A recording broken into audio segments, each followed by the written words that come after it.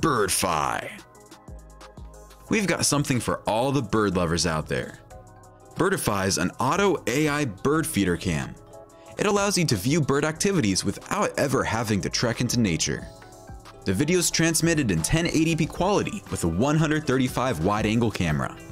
Birdie also offers protective services for your precious. If you've got an unwanted intruder, you can scare it away by pretty much saying go away through the Netvue app. You've also got an alarm siren and a flashlight. It supports solar charging and features a night mode. It's also got an IP65 waterproof rating and a battery life lasting up to 12 months. Birdfy allows you to view the rarest of birds without putting in much effort. Number 9.